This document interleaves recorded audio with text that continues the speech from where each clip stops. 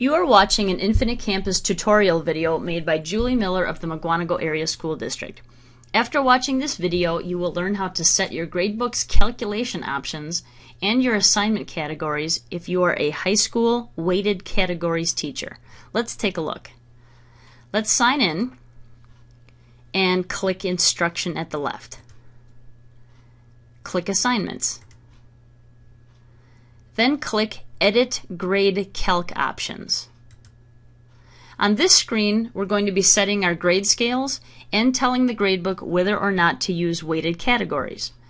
It's going to be tempting to use these fill all toggle switches up at the top, but I'm going to recommend that high school weighted categories teachers do not use these fill all tools. It's going to be better to handle each of these white rows one by one manually. That's because weighted categories setups tend to be different for every grading task. So I'm going to ignore the gray fill all area and instead begin working on the white rows below. So let's start. For the term quarter one quarter grade, we need to set a grade scale. Let's click Calculate in Progress Grade. And we're going to choose the grading scale that applies to me. I'll click Standard Scale. I also need to tell the gradebook that I'm going to be weighting student work during the first quarter. I'm going to be using different folders, so that's why I check off the weighted categories folder. Next row is the quarter one attitude effort grade. This does not require calculation because it doesn't use an A through F grade, so I'm going to leave it alone. Third row is the quarter two quarter grade. Like the quarter before it, you need to calculate a progress grade by assigning a grade scale and clicking the weight categories checkbox. Next row is the attitude effort. Once again, leave it alone. The final two rows are for the exam and for the semester grade. These two rows both get a grade scale applied, so let's do that. But they're different from the rows before it in that we are not going to check off any of the weighted categories boxes. This is because in the exam task, typically students are only getting one score, the exam score. And then the semester task, well, the gradebook already calculates that on its own. We don't need to do anything further other than assign a grade scale. So if you're a weighted categories teacher, your white rows on this screen should look like this. You should have a grade scale and a checkbox for both quarter one quarter grade and quarter two quarter grade. You should have no calculation for the two attitude effort tasks. And finally, you should have only a grade scale for your exam and your semester grade. At no time should any teacher ever click this second box that says use scores percent value. This is for a very unique kind of grading that is uh, very atypical.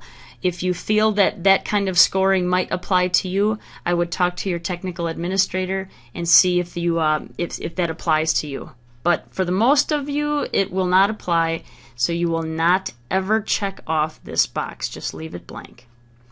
All right, so once that's good to go, let's click Save and move on to creating our assignment folders, or as campus calls them, categories. I'm going to use the example of a teacher who creates uh, two folders. One is a homework folder worth 50%, and the second is a test folder also worth 50% of the grade. So let's start click Edit Categories, and click Create Category. Let's give it a name, Homework, worth 50%. Notice that any folder can be excluded from the gradebook's calculation. This is kind of nice in case you want to create a folder that is uh, just more of a uh, an organizer just to keep track of things but doesn't really affect a student's grade. And you also can drop the lowest score from any folder. You may apply these two checkboxes at any time during the year. Next, I'm going to choose the classes to which this folder applies. So I want my two geometry classes. And finally, I need to tell the gradebook that this folder is going to be used to calculate the quarter grade. Once I'm done, click Save Category. Let's repeat the process a second time for my second folder. Click Edit Categories, click Create Category.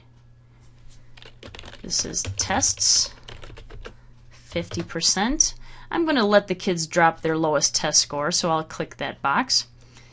Apply it to both of my classes. And this is also a folder being used in my quarter grade calculation. So I'll click quarter grade.